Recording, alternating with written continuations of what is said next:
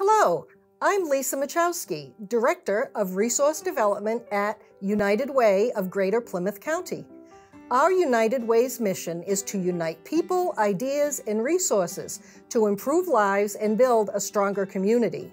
We serve 22 towns from Brockton to Plymouth, from Marshfield to Lakeville, with a combined population of over 500,000 residents. Currently, 7.2% of the population in Greater Plymouth County is living below the poverty line, but you can help them. Please donate to our United Ways Live United Fund to feed families, to house homeless neighbors, to provide health services, to care for families, and to assist unemployed neighbors. Together, we can lift up our communities. To help change lives for the better, please make a generous gift today at uwgpc.org and thank you.